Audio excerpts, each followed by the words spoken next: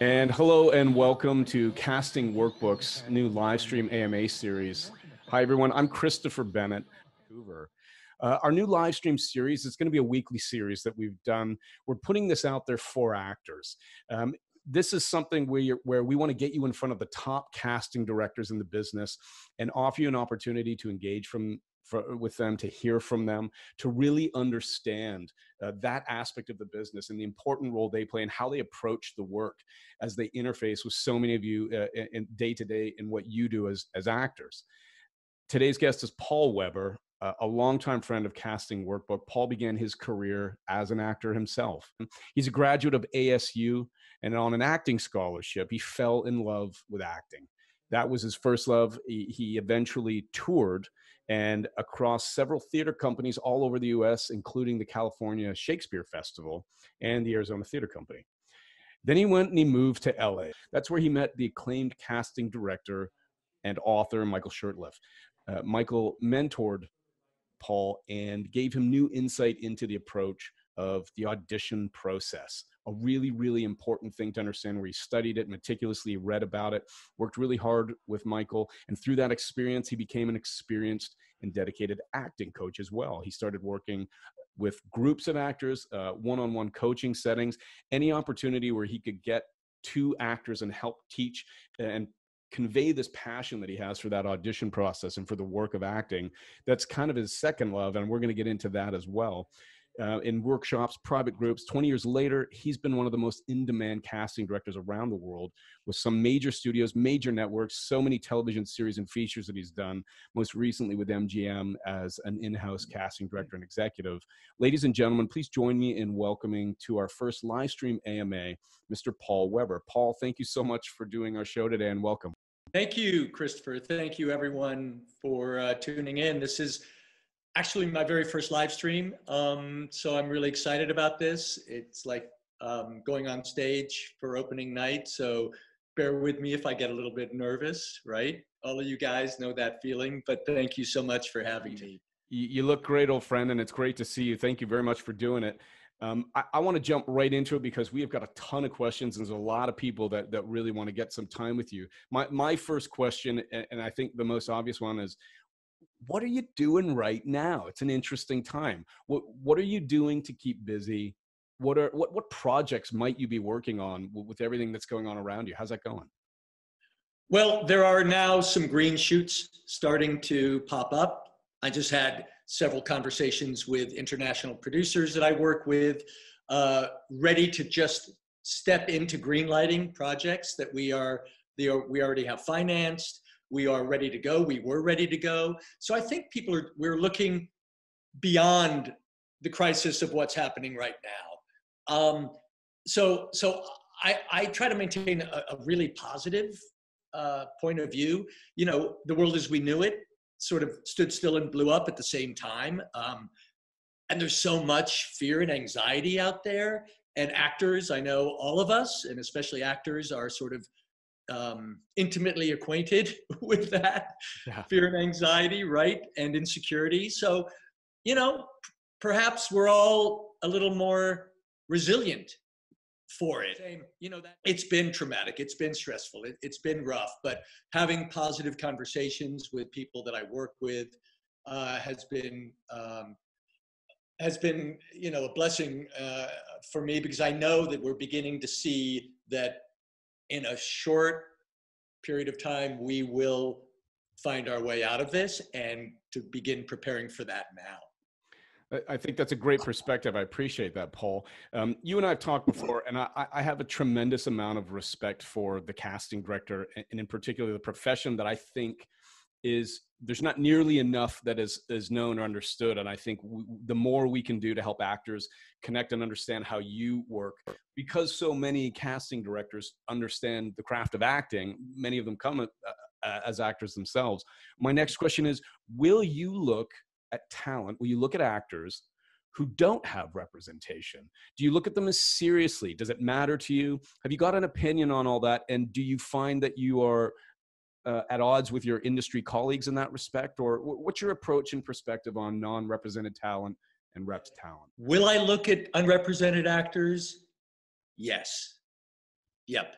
Um, will I look at them as seriously as represented actors? It depends, right? Um, does it matter? Well, sure, it matters. I'm not saying that if you are not represented, you're not a talented actor. What I am saying is that that I think it is helpful, and all actors are striving toward the goal of having a really good agent because an agent an actor with an agent has just greater access to casting directors right?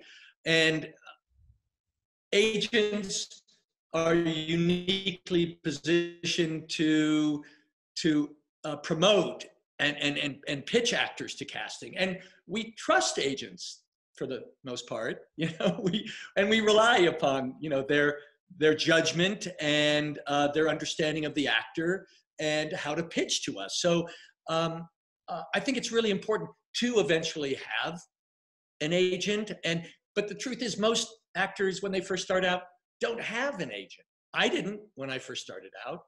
And it was it was challenging. Um, and when i started there were really only four American networks. And the only way we could really get in front of casting directors was through maybe uh, uh, casting workshops, doing plays, um, uh, recommendations by acting teachers, um, referrals from other actors. Uh, that's how actors who are looking to get in the game and try to get an agent.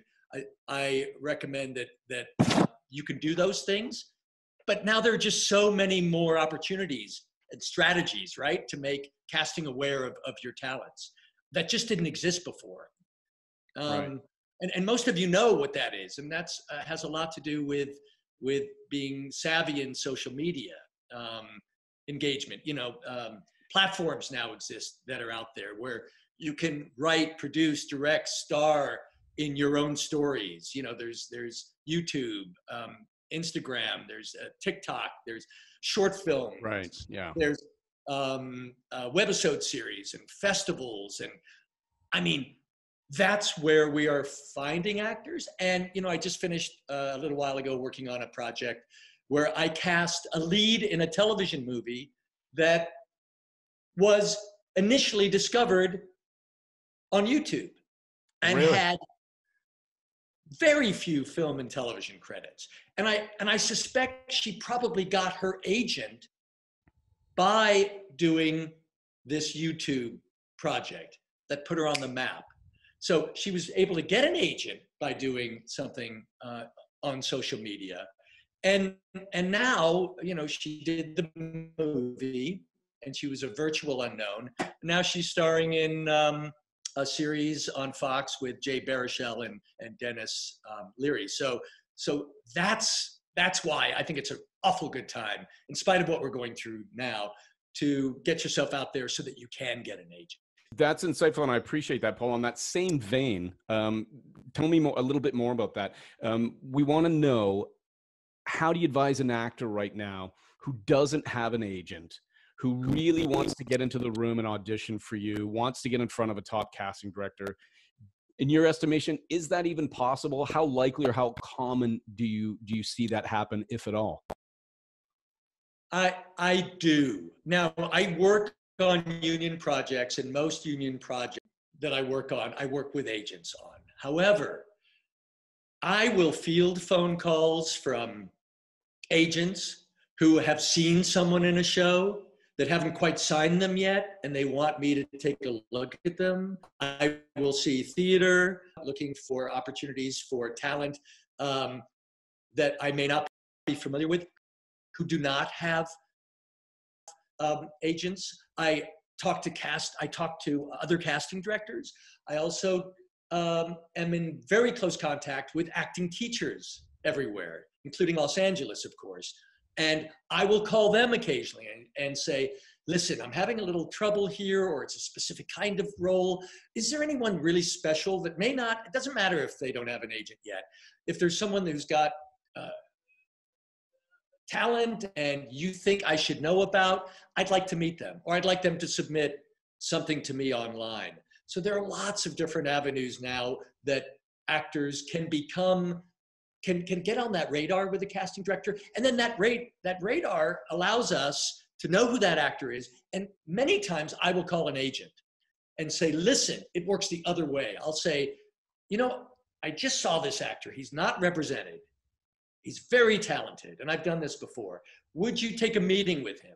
Not as a favor, but because I think you will really, really appreciate this talent. And if you don't sign him, it's not because he's not talented or she's not talented. It's because you already have a roster that has maybe those actors already on your list. Um, Paul, I want to that help.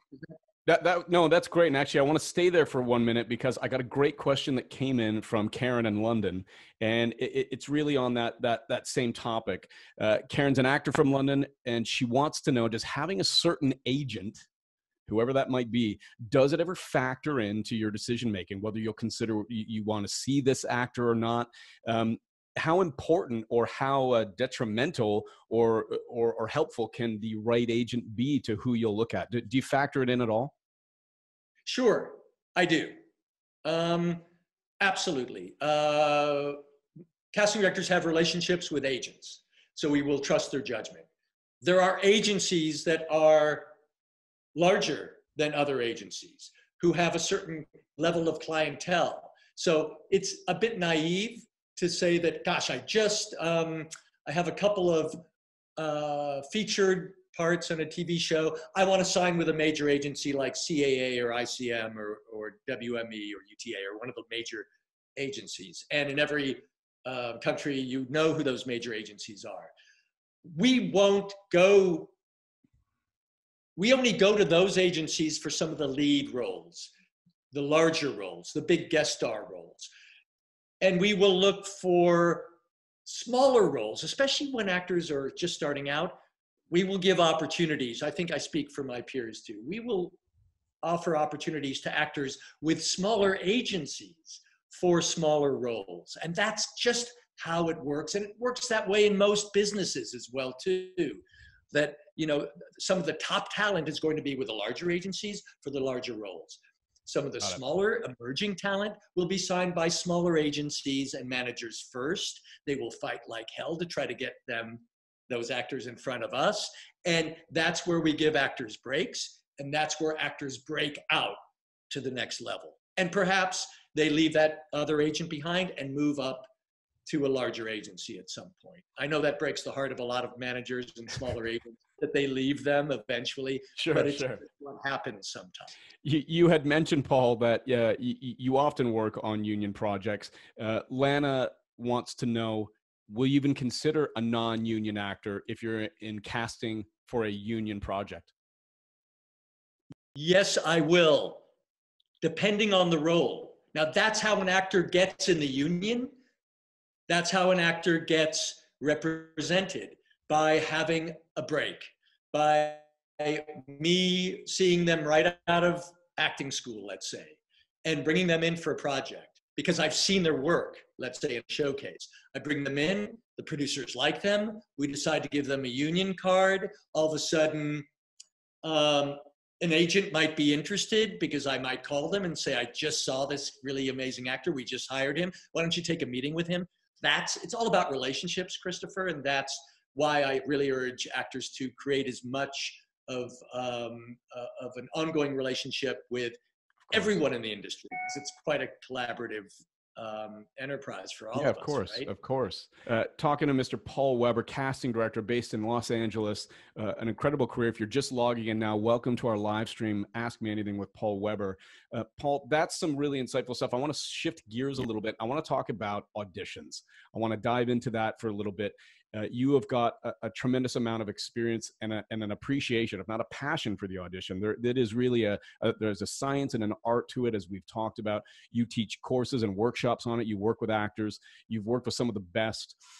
I, I talk to actors all the time. I think you you know, with the exception of my immediate family, I, I, there's no other group I spend more time with than actors. And the audition is on their mind. And one of the things that comes up all the time is how do I go in there and really stand out? How do I get the attention of that casting director? They want to do something memorable. They want to really get the part. When you are looking at an actor in that audition process, when you're wearing your casting director hat, what's your advice on how they can be bold and they can approach the audition a certain way to leave an impression without necessarily compromising their chance to actually get the part have you got any advice around that and and, and the best way to stand out in an audition yeah you know i mean that's a question we get a lot and it's just not enough to say I like actors who are prepared and give make bold choices. You hear that all the time. So so maybe let's just let's flip the question a little bit. Sure. It's it's like it's maybe what keeps actors from doing their best work in the audition room, right? And I find that a lot of actors just get in their own heads. They they get in their own way when they're auditioning, and they're often paralyzed by by fear of rejection or anxiety, and and and and you know that just piggybacks on itself, right? So you know I, I find that a lot of that fear and anxiety can be managed by by how an actor prepares for that audition, um, which is after all what the actor's job is primarily getting the job is great, but they will be an audition process. You guys will all be auditioning many more times, more likely, than you will be getting the job. So the better the preparation, the more assured and confident the actor is, not only you know in the choices they make, but the freedom that they now have to to execute the direction they might get from a casting director or producer if they're lucky. Um, and of course, the more an actor gets a chance to audition or self tape audition, the better they're going to get at it, just like anything. So, my advice is you get better by auditioning by getting out there and auditioning and doing the work and audition for everything you can. Short films student films plays do classes practice practice right. you know sacrifice it's repetition. yeah. Um, uh, that's my advice really because there's no one note i can give an actor to to say give me a bolder choice. You know the actor comes in with their toolbox born of their preparation born of the technique that they have developed. And everyone starts off pretty green. You know they may not i may see someone who's brand new but there's an instinct. There's there's a willingness to be present. There's a willingness to be vulnerable. There's a willingness to, to listen. Um, those are really important things. And that's what sometimes doesn't happen because actors are so desperate and sometimes get in their own head and they sabotage their own work. If they just did the work and continued to do the work, they would get better at it. And then they might even enjoy it. That's what that's I'd so, love to see. That's so, that's so auditioning. That, right? that is so important. Um, Linda wants to know right along that line: Is there a, a, a thing that, that that happens? Is there something that the actor has any control over when they want to create that moment, um, so that you really go, "Aha! There it is. That's the one we were looking for." And I think this is where we're really getting into the art or the science of the casting and the audition. Is is there any of that within their control as you see it? What? Tell me a little bit more about that. That's fascinating stuff. Yeah, it really is. And it's it's very psychological too. You can do the work and and really that's all the control you have. And I know a lot of your actors, the actors out there know this, but you really need to know it from us that the only control you have is what you bring into the room, your state of being, your preparedness, your willingness to listen, to take direction, to be present. You really have no control over anything else. And anytime you think you do, you will start to second guess and sabotage yourself. You'll leave the room and wonder what you could have done differently. But if you're present in that moment, we will see it. We will know that you're doing the work that you are best capable of doing in that moment. And that's really what you leave us with. So don't worry about the other stuff because you can't do anything about it anyway. You can't change your height. You can't necessarily change your weight in a week or when we're going to shoot in two days. You can't change your diversity, your nationality, your look. There may be a whole room of actors who look very much like you, right? Sure. Coming in for the same role. There may be a whole room of actors who don't look anything like you. When you start getting in your own head and second guessing that, you're going to be in trouble. So do the work, prepare, realize if you're sitting in that green room waiting to go into the casting director's office, you're there for a reason. Don't second guess, oh, I'm not good enough. I sh- why should he's better looking, she's better looking, you know, uh, uh, and all of a sudden, everything you prepare. Like you say, they get in their own heads. They get in their own heads. That's right. The, uh, uh, Michael's got a great question that came in just before that, and, and you've touched on it a little bit. Let's talk a bit about accents. Uh, uh, would love to know your opinion on that. We've got a multicultural industry. We have so much diversity, probably more than ever before in the business and across it. A lot of actors want to know, Paul, what's your take on do I bring my accent into the audition with me or not? Often the the the accent could be at odds with the character. What's your advice to actors? Should they be trying to fool you and go right into character as the sides might require, or do you say, "Don't worry about it. Let's see what you can do as an actor first and work on it off camera"? What's your thinking around accents in the audition? Okay, that's a really really good question. Um, and uh, I, th- I think it depends you know, if you're a, a Commonwealth actor from the English-speaking countries as well, or if you are from um, Europe or, or yeah, Asia. let's let's go British on this one. I think the question was geared towards a British accent, but uh, uh, your thoughts on all of it? Yeah. Okay. Um, if you're coming in for a role as a British actor for an American part, I pray that you're really good with an American accent right? And I think it's easier for Canadian, certainly Canadian, but European uh, Commonwealth actors, you see even South Africa, Britain, um, Australia, come in with your American accent because that's how you are going to uh, perform your audition, right? Is in an American accent. And if you're really good at it, we won't know. I might, but my producers likely may not. And you talk to us, maybe a little bit of chit chat before, not too much. But, uh, and then right when you're ready to get into the audition, if it's an American part without an accent, you do a spot on American accent. At the end of that, shift to your British accent. Then it's like, oh my God, that guy's like amazing. He's like Houdini. He's like David Copperfield. He was able to do an American accent brilliantly. And then he just shifted effortlessly to his native uh, accent and and we even think you know he must be even a better actor than we thought or or she was because she was able to do that. So i, I hope that answers the question. Yeah. if you cannot do a really spot on american accent for an american role don't try. Because all we'll be listening for is that one vowel in that one sentence and and it'll sound not like an american and and I'll be looking for it. My ear will be tuned for it, and the producers will too. And we'll be more aware of the accent slipping rather than the work being done. Uh, Paul, let's talk about sides for a minute. Let's talk about the lines. Let's talk about going off script. What's your advice to actors who are wondering can they take that audition for a little bit of a walk. what do you, when you're in the audition room, see when an actor does that? Do you advise them to just stay on script, or is that a necessary part of, of really letting their ability to perform it and bring the character to life essential? What, what's your advice on actors wondering how off script they can go, and do you ever advise it? I say again, it depends, right? Sure. It, it really does on on the script itself, on the content, on the director, on the writer who's often in the room. Some actors or some directors I've worked with are very improvisational, right?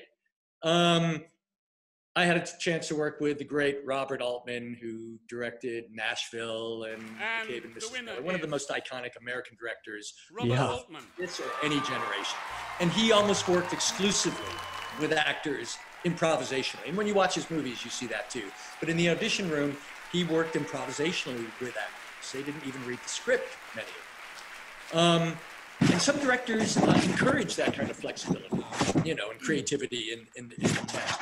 But, but others like William Shakespeare or like, or Aaron Sorkin, let's say, you know, you don't friggin' touch one word of that script. You do not go off script. So I guess my general advice to actors is just stick to the script. You know, if you make it your own, it will feel fresh. It'll feel organic. It'll feel original. Got it. Uh, uh, talking to Paul Weber, uh, casting director based in Los Angeles, uh, a great career. I mean, you've worked with Robert Altman, as as we just talked about, uh, one of the most acclaimed directors ever. You've you've done some really really interesting and great work over the years, Paul. I would love to know right now, and a lot of people had a, a similar question of all the projects that you've cast in, in your history. Have you got any particular ones that stand out to you as I'm going to use this word carefully it's the most challenging uh, not ones that you that you loved the most or you didn't um, most, but but a challenging project where you went this isn't going to be easy to cast. And how did you approach that? Uh yeah hell they were all easy. That's good to know. That's good to know. Um, no they are uh, they are all very challenging i find. And, and why? why? Tell me about that. Why? Well I mean, they're all challenging in different ways. I, I think, you know, I, I did a worked as uh, the American casting director on the team that cast Spartacus. Let's say, great show, um, which was uh, among the most challenging um, and rewarding experiences because of what was demanded of the actors in the audition room and on set. I mean, first of all, it's a period piece, right? Um, it had mythical scale, yeah. right? Yeah. There was a language that was rather formal and sort of original. It was sort of Shakespearean, but the writers created a whole sort of mythical, classical language on its own. There were fighting skills that were necessary. There was even nudity for some characters that that the actors had to sign on for. Um, we had to recast the lead tragically. Um, so remember, there were a lot of challenges, but oh my gosh, immensely rewarding. And I, I, think we got it right. There's maybe one more example. This was uh, some years ago. We were shooting an anthology series in Vancouver called The Outer Limits. And it was a seven season run for an anthology series where I had to cast name lead actors in every single original story every single week. All the other actors were cast out of Vancouver, but I had to cast the American or Canadian counterpart lead actors. So that was challenging and rewarding too, because you know I got to launch or help launch some young television medium. So you know, actors like uh, Joseph Gordon-Levitt and, and Ryan Reynolds and you know, Thora Birch and Neil Patrick Harris and um, Catherine O'Hara, you know, Canadian yeah. actress, James Marsden, Josh Jackson, another wow. actor, Nathan Fillion, you know, Barry Pepper, uh, Molly Parker, Charlton Heston. I got to do our, our finale. You're kidding. So that's really challenging and really gratifying. You know, some are more fun than others. Um, uh, some are easier than others. Um, but it, for me, it, it's it's about collaboration. And when I work with uh, producers who who are fun to work with, who are very creative, and a kind of a shout out to a couple of them in Toronto that I worked with. One half hour um, called Crawford, and another hour long called Pure, and they were wonderful Canadian series with incredibly collaborative producers, and they were fun and in a way kind of easy because we were right on the same wavelength and I was able to recommend a couple of actors, and they said, "Let's do it." We got them signed off for, and they're on set the next week. So sometimes the process is a little bit easier, but I think they're all challenging, and we always anticipate that they are going to each of them have their own um, special challenges. When you approach it Paul, I think there's certainly, um, and as as actors, of course, understand there's so much that goes into a a, a project from the pre-production, the writing, um, all the way through to, to to how we're going to market and position this. But the casting, you get, it's always always about the casting, the ability to bring those characters to life and find the actors that are going to be able to do that and really connect with the audience. It's it's absolutely essential. Um, which one are you most proud of in your career? Have you got one where you went, here's a great example, and and how did you do? Why are you so proud of it? How? Why do you think that this was a particular great example of when casting gets it just right, you have something magic that happens? Well, uh, aside from um, you know Spartacus and and um, and some of these other shows I've referenced.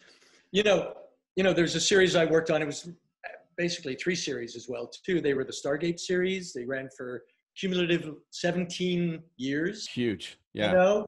and so, they're still going, man. That is a still a massive. Yeah, uh, you know, was, they were fun and great people to work with, and and um, I wish I had residuals on those shows. You just got a lot of shout outs from our audience at home on Stargate. Oh my God, that just yeah. lit the whole board up. well, it was, you know, launched a lot of actors in Canada as well, too, because we shot there. And, um, and, you know, what was challenging is we were told, listen, this is a franchise. We may have a series that will run each series seven to 10 years. So we need to find the actors who are going to grow with the audience and continue to be fresh for that audience. And the characters will continue to grow. So even when we're auditioning, I'm looking, am I going to want to watch this actor for the next five, seven, ten years? And you think you think about that. You approach it I that do. way. Wow. I do.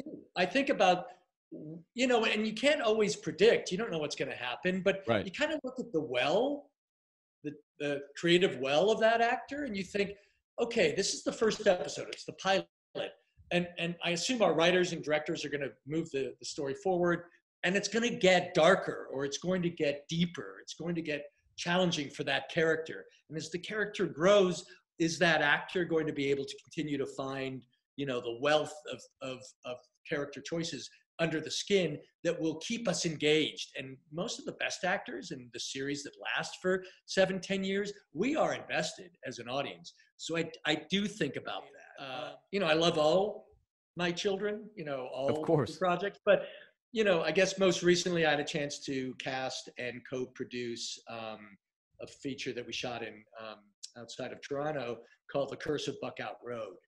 And for me, that was very gratifying because I was able to not only put together a cast, but also be involved in the creative process uh, of attaching a director, attaching the writer, developing the script, working with really good actors, really good producers, and for me, as a to grow, not only as a casting director, but into onto the next level, you know, I thought that was really um, really sure. gratifying um, experience for me. And we're developing our next couple of movies as well, and I really look forward to that because we all want to grow, not only in our own craft, but but perhaps in other areas of the business that we are um, curious and interested about. And now I think is a really good time to be an actor because you can do these things. Uh, Paul, the, the audition happens, the actors get it their best, they leave the room, uh, phone calls are made to agents, conversations are had, notes are given, sometimes they're not given. There's a whole component of this experience that I'm not sure actors necessarily are aware of or they think about. And sometimes the casting director really thinks they've found the right person, the right fit for that part. And sometimes the network, uh, the studio, the producers don't agree. It, in your experience, and I'm sure this has happened o- over the years with you, have you ever had to fight for an actor um, where you really, really believe that they were right for the part, even if it didn't necessarily match up with with the the other uh, partners in the project. What's that like? How often does it happen? Talk to me about what it's like uh, when you've had to fight for actors you really believed in for a certain part. Yeah. Um, you know, I'm a hired gun, right? So, so again, it depends on the relationship you have, the trust level you have with your bosses, your network, your your directors, your producers. I mean, I give an example. I I don't I hope he won't mind me talking about this, but you know, uh, Jason Momoa comes to mind. I've heard of him. I've heard of him. Yeah. Maybe a little more than you did some years ago, but right. um, but at the time he he was relatively new, and um, and I'm I'm talking in terms of the series I cast, Stargate Atlantis, which was the second of our trilogy of Stargates, and and when I read the script, he was the one and only, the first and only actor that I actually thought of. And I went, Jason Momoa would be great for this, would be great for this. And my producers, once they met him and, and were introduced to him and, and he read, they really loved him. And they loved his physicality, of course, too. But the network wasn't sold on him when he tested. Now it looks like, oh my gosh, how could you even doubt that Jason Momoa? But at the time, he was he was a bit green and a bit nervous, and testing for a sort of an iconic show that could run. It ran seven years, but it could run seven, ten years or more. There's a lot of pressure. There's a lot of pressure. So the network wasn't quite sold, and we did have to fight for him. Um, and you win a few, you lose a few. Um, but I feel, and I'm so glad we did fight for him. Yeah, yeah. Launch him to Game of Thrones and beyond that, of course, too. But you know, if I feel an actor is right, um, I will absolutely be their advocate. I will. I'll go to the mat for them. I will. I will woo. I'll cajole. I'll plead. I'll beg to give them one more chance. And then it just, I can go only so far. Of course, right. Yeah, of course. And then it's really not, it's not my air time. It's not my money. It's not my network. Um, ultimately, it's a collaborative process. I will do the best I can. And then uh, ultimately will be the decision of the director and, and producer. So casting directors, I think overall, all of us are actors advocates. We're not your adversary you know we're there to really help you and nurture you um, and try to get the best work you can because if you look good in the room we look good. That's why i prep for testing purposes. When i test actors for network shows we go into a quiet place and every single actor that tests i work with for an hour before we go in the next day for that just to make sure they're really comfortable. And I try to give them as many of the what ifs that can happen in the room so that they are as prepared as they can be. Uh, talking to Paul Weber, uh, certainly a, a, great casting director, but also, as you said, an advocate in the room for actors, as, as, so many of your colleagues are. I want to jump to some questions here, Paul. Some rapid fire, some short answer ones. There's so many coming through, and and uh, a lot of people want to thank you first of all for doing this. This is really great, and and you are we are sending you the love virtually here. I hope you're feeling it. I appreciate it.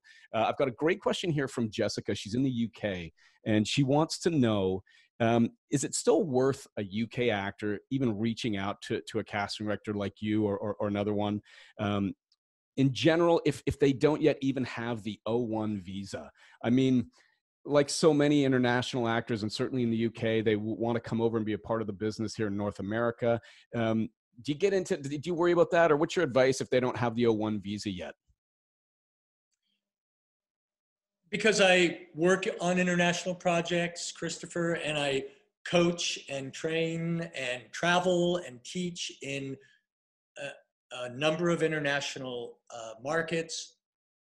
I do tell actors that it's really important to have a body of work and an O1 visa, if possible, before coming to the United States.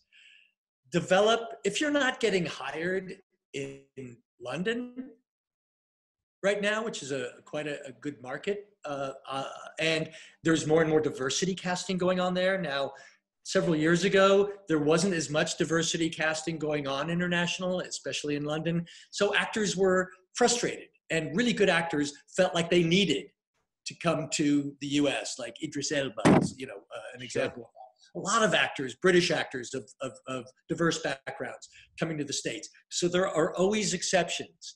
However, I think it's really important to develop your skill set, develop uh, a resume to the point where you might qualify for an O1 visa. And the only reason I would say for any foreign actor to come to the United States is to train.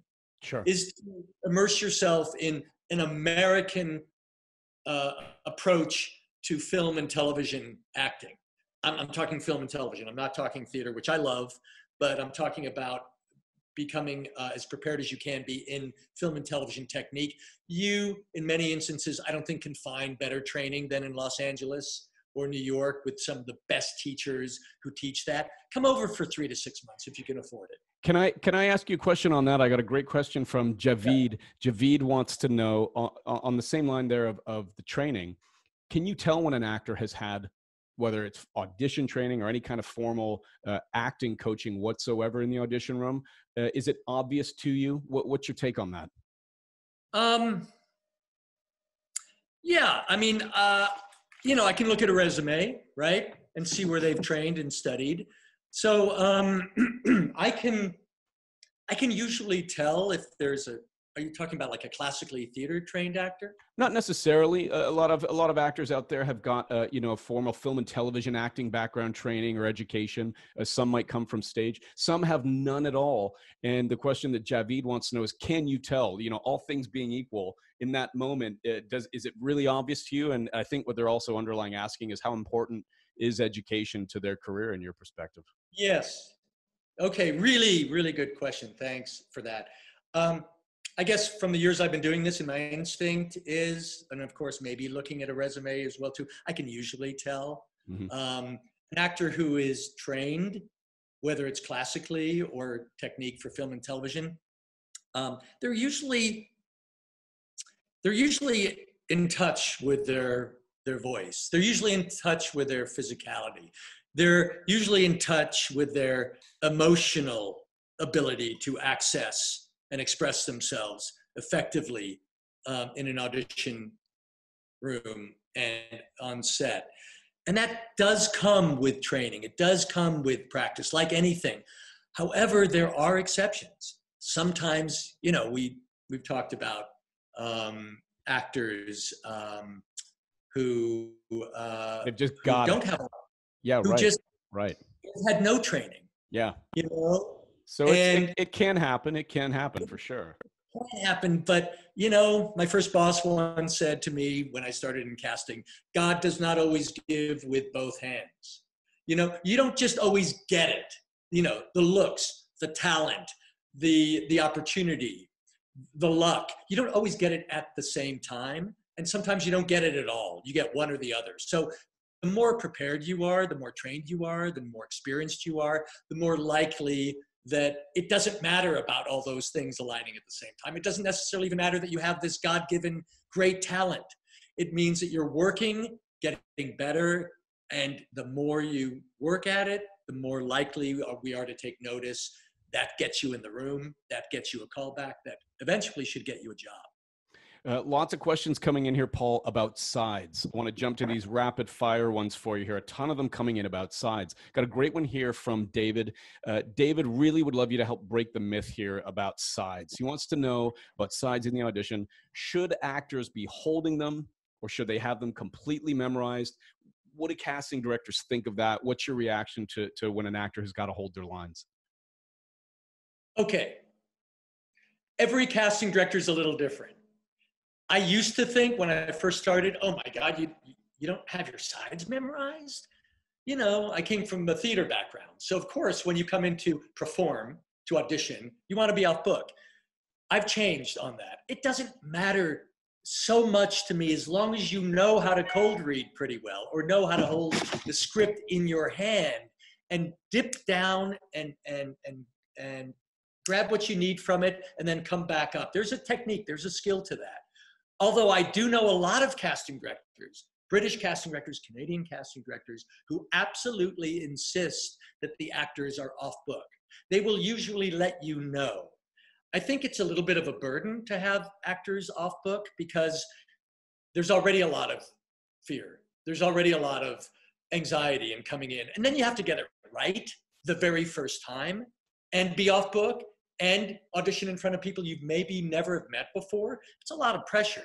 So I tell actors, unless it's for maybe five lines or less or one page, yeah, if it's a smaller part and you only have seven, ten lines, be off book. Don't bring in a script with you. But if it's a guest lead, a lead role, three, five, seven pages long, and maybe you've had three or four other auditions that you're prepping for with other casting directors on other projects, I don't mind at all that an actor comes in with the script. Okay. It makes me feel like if they don't have the script and they blow a line four pages in, guess what? They're going to want to start over again. And I may have 30 actors waiting in the room. I will just pull my hair out, which I have now a little bit more. Right? Is, um, yeah, yeah, yeah. And think, oh gosh, now I've got, I'm running late. My producers need to leave, and this actor wants to start over. And sure. sometimes I'll just say, just pick it up, just pick it up from where you are. If they'd had the script in their hand as a tool, maybe a little safety net, but as a tool, use the script. So I think it, it depends, but listen to what the casting directors want. Some of them want you off book. For me personally, and I know actors are busy, especially during pilot season, not this one, but many, is, you know, I know you're out there a lot. So have a script with you, and if you need it, use it there's a there's a great conversation happening here as you're talking. There's a lot of people really engaged and i think what you're saying is really resonating with them. I gotta i gotta call out uh, to sadika just made a comment earlier. You could feel that sadika and a lot of people they're hearing what you're talking about and they're like man i, I want to get back to work. There's a lot of actors right now who as we're talking about the craft and about you know their the the art of this this whole thing you can feel that so many people are, are excited to do it. I love that you have that background as an actor yourself and as a coach um, i think that must really it's why you're one of the most in demand casting directors and I, I really appreciate your time here. We still got uh, about 15 more minutes left and i've got some great questions. Um, i'd love to keep going with you here. Diana sent one over and this was an interesting one that got flagged. Diana wants to know if an actor has got awards, uh, if they've been recognized maybe in shorts or at festivals, uh, maybe they've got a recommendation from casting somewhere else, would you ever take that into consideration? Would that ever inspire you, perhaps, to bring that particular actor in for a larger role uh, in a project, whether it was film or TV, that maybe you weren't looking at them for? Uh, how important are those things? Do you factor those kinds of things into your, to your process, Paul, as a casting director? Yes, um, and I do go to a lot of short film festivals, um, film festivals where we want to be the first casting director that discovers this talent. So our producers, our directors, they appreciate when I tell them, "Hey, listen, I was at the um, Toronto Film Festival. I was at uh, Palm Springs uh, Short Film Festival, and I saw this actor. I met this actor after the the um, you know the the screening and i think I, I want you to meet him because I think he'd be a really interesting, or she'd be an interesting way to go. So we do whatever we can. I do the same thing with plays. I go to see a lot of theater because it's a passion of mine. Of course. So, um, uh, you know, we only have so much time, and we're we there's a lot of pressure to cast very quickly sometimes, especially in television. But I always try to leave the door open for that special actor that no one has ever heard of that came from a short film, an independent film stage that I can introduce my producers with. It makes me feel like I'm doing my job and it makes them feel like I'm digging deeper than just scratching the surface. Um, another question came in from Sam, and a bunch of these very similar all came in as well. So I know this is something that a lot of the female participants are thinking about. Uh, the question is about being a female in the industry. A lot of them wear makeup. Uh, how much makeup is too much? Do you have an opinion on that? Are hair extensions or lash extensions or getting their nails done appropriate? So many things that often uh, uh males don't have to think or worry about at all are, are, important parts for, for female actors who are wondering what's your take on all that? Is it something you talk about or think about when they leave the room? That's a great question that a lot of actors have, uh, along with wardrobe and all of that. um, yeah, I uh, just like your headshots, ladies. You know, uh, actresses out there try to less is more when it comes to makeup. We don't like to see a lot of jewelry. We don't like to see a lot of makeup. Um, uh, and a headshot. You know, I, I know we haven't really spoken too much about that, and we may not have time to address that today. But in the audition room, I think the rule is the same. You know, keep it really simple. Some you may not have sometimes the best skin, so a little bit of foundation. Because you know, when you're on screen, when you're on camera, if, if you're on set, they're going to be making you up so that you know we won't see those blemishes. So, but be really careful about that. Unless the role is really specific, like you're a goth girl, you know, or you've got, or there's some kind of period demand where there's a certain kind of makeup or hair demand. Keep it really simple. We just want to see you. Let the wardrobe people, let the makeup people on set decide with the director, you know, how you're going to look on set.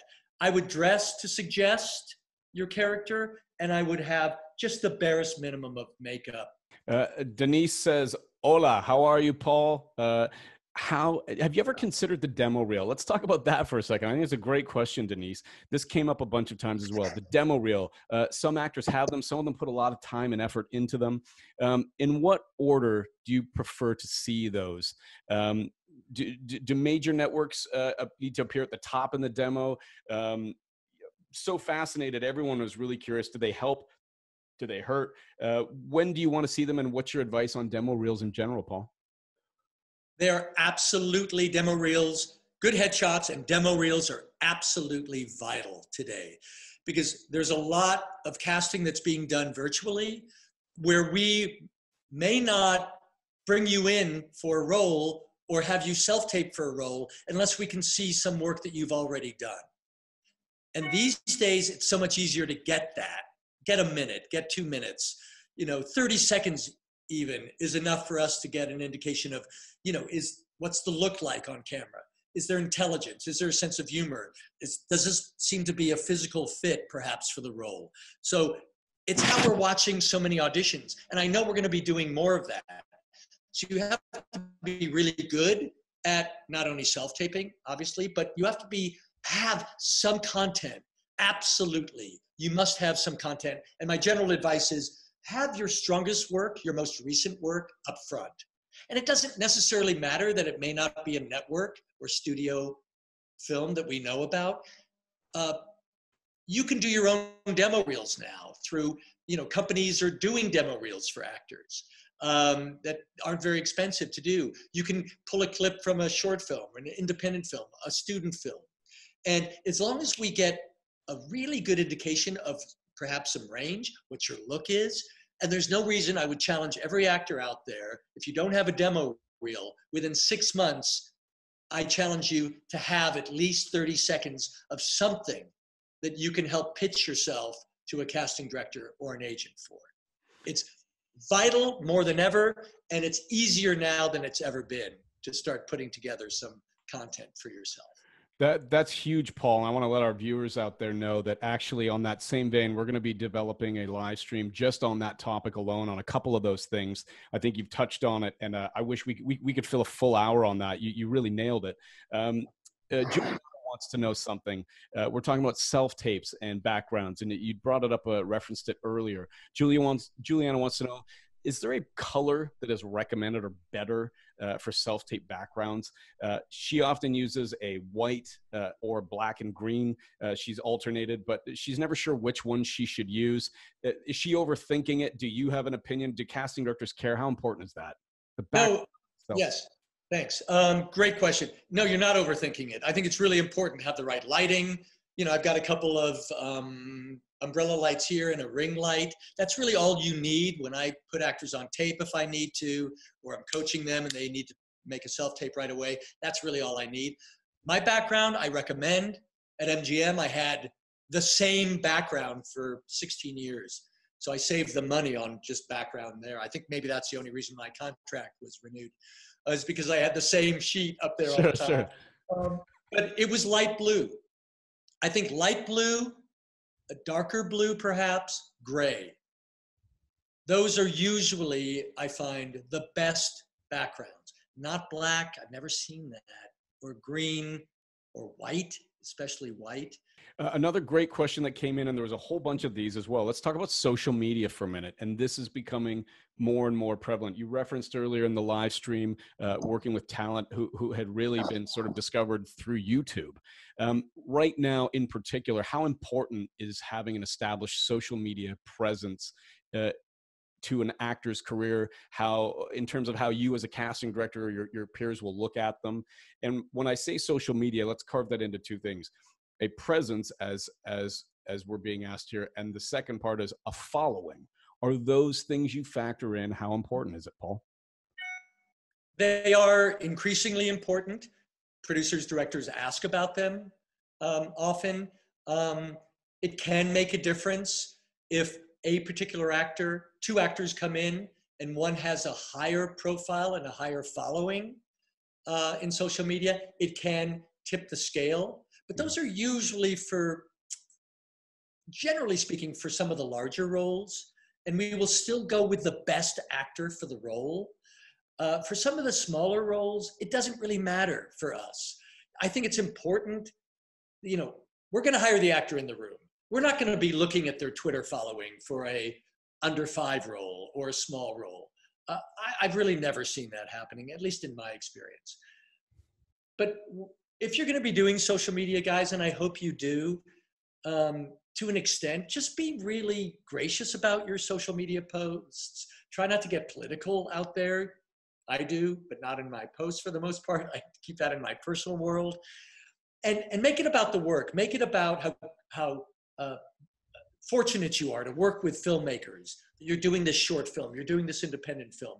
Don't make it all about you, is my general advice, even though it is all about you. But you want to sort of convince us that, oh my God, what a humble, gracious, humility filled actor who's really just, just so uh, um, blessed to do the work, just be with other working professionals and thank them for that.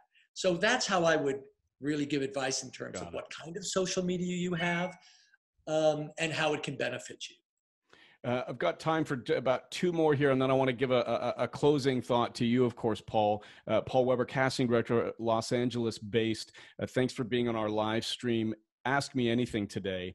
Uh, one of the questions that came in was from Jonathan, right there in LA, next door to you, probably. Uh, Jonathan says, Thank you so much for doing this, Paul. This is great. Earlier, you mentioned sticking to the script when auditioning.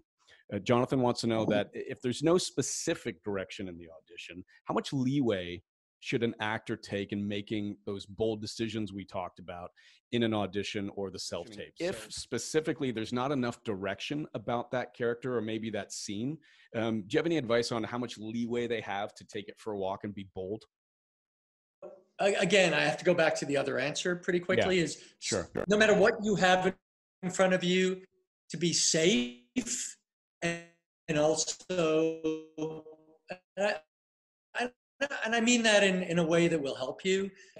There, there are opportunities to take risk, but if you are in the room and if you have a question about a character, ask one question maybe in the room. But, but in terms of your preparation, leave a little bit of wiggle room because you're going to get direction and you may be given permission to, to go off script a little bit.